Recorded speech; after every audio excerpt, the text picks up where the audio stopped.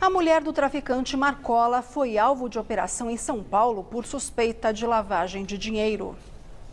Um dos locais de buscas foi no salão de beleza de Cíntia Gilioli da Silva, mulher de Marcos Williams Erbas Camacho, o Marcola. Em sua casa, dentro de um condomínio em Alphaville, na região metropolitana, também foram feitas buscas.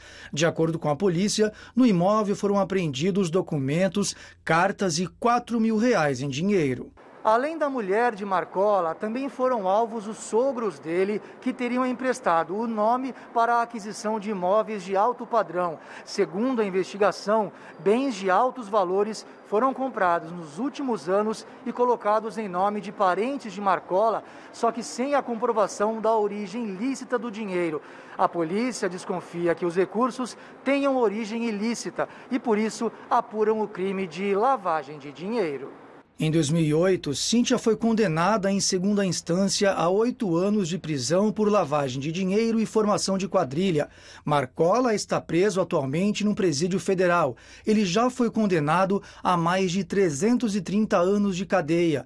Em agosto deste ano, o traficante, que é apontado como um dos principais líderes da facção criminosa PCC, se tornou réu pela acusação de ter dado ordem para matar um promotor de justiça e o chefe da Coordenadoria de Unidades Prisionais da região oeste do estado de São Paulo.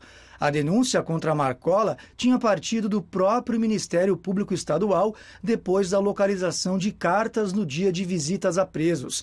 Na época, a promotoria também descobriu um plano de resgate na penitenciária 2 de Presidente Venceslau, interior do estado.